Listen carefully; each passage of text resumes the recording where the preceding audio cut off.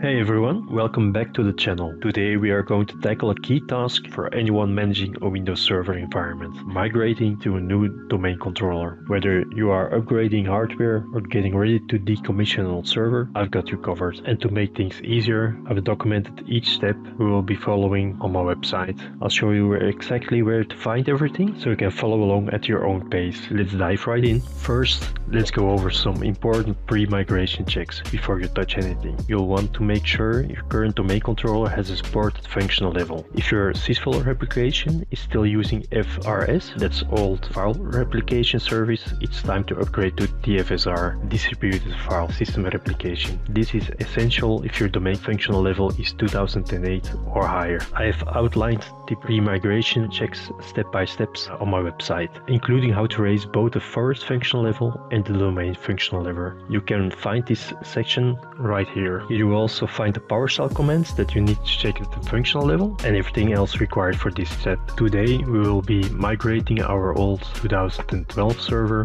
to a 2022 server and for this we will need forest functional level of at least 2012. To raise the domain functional level or the forest functional level, open the administrative tools, launch Active Directory Domain and Trust, right click on Active Directory Domains and Trust and click raise forest functional level. Let's raise it up to 2012 R2. Press raise, say OK. OK. We'll also need to raise the domain functional level. For this, we have to go to Active Directory users and computers. Right click on your domain and raise domain functional level. Here it's already as a tip. You can always use this command to speed things up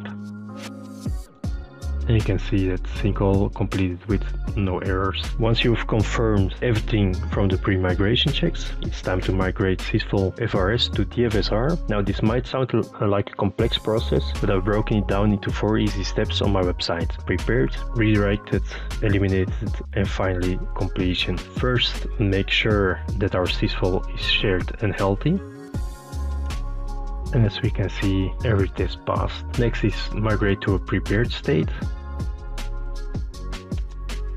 and here we can see in this case I'm already on DFSR so there's no more need to migrate from FSR to DFSR. If it's not the case and you are for example still using an older version 2008, 2003 you have to go to all these steps so set global state 1 to get the prepared state you can run this command to get the result and it will say all the main controls are successfully in a global state. In this case you would like to see are in prepared state and when they are in prepared state you can go to the redirect state and you can set the global state to 2. Again run this command to make sure all your domain controllers are in the redirected state. From that point you can migrate to the final stage that is the eliminated state that we already see right here. Run this command and do a final check. Once all your domain controllers have successfully reached each stage, uh, you're good to move on to the next step. Alright, now that your SYSVOL migration is complete, you're ready to install Active Directory Domain Service or ADDS on your new server. In this case you will see I have my DC2 and it's running server 2022. I've also documented this part of the process in detail on my website. Right here you find all the instructions to guide you through the installation and promotion process. So we'll start by opening Server Manager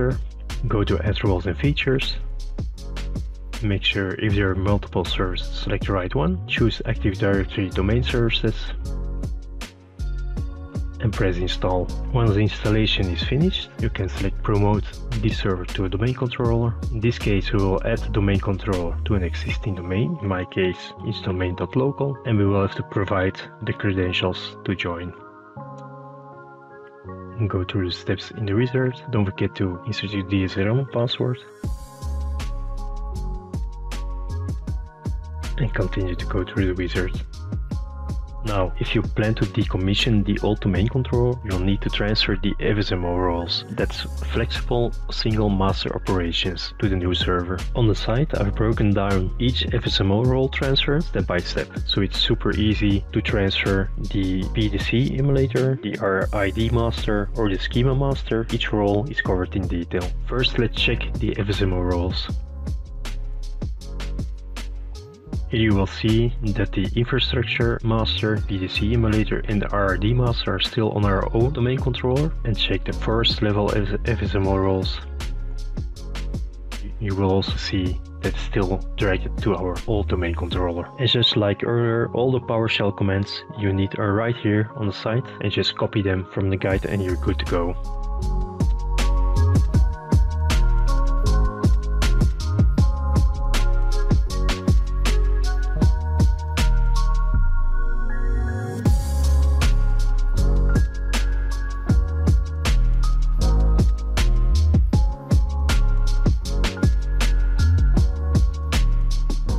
Make sure to change the identity. In this case, we have DC2, but in your case, your host name of the new server can vary, of course. Now that we have transferred all the roles, you can check it again.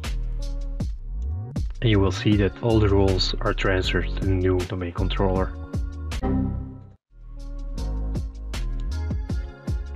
Now for the final step. Once your FSMO roles are transferred and you've confirmed that your uh, new domain controller is functioning properly, you're ready to decommission the old server if that's part of your plan. One of the main changes you need to do before decommissioning your old domain controller is to make sure that your DHCP uh, scope is configured to enable or configured to the new domain controller. Also, everywhere that you have a statically configured IP address of your old domain controller, it needs to be removed and changed to the new IP address of your new domain controller. And there you have it, a step-by-step -step guide to migrate into a new domain controller. Remember, you can find everything I've covered today fully documented on my website, commands, screenshots, and detailed instructions to make the process as seamless as possible. I'll put a link to the full guide down in the description, so feel free to check that out while going through the steps. If you find this video helpful, don't forget to hit the like button and subscribe for more IT tips and tutorials. And of course, if you have any questions, drop them in the comments below and I'll do my best to help you out.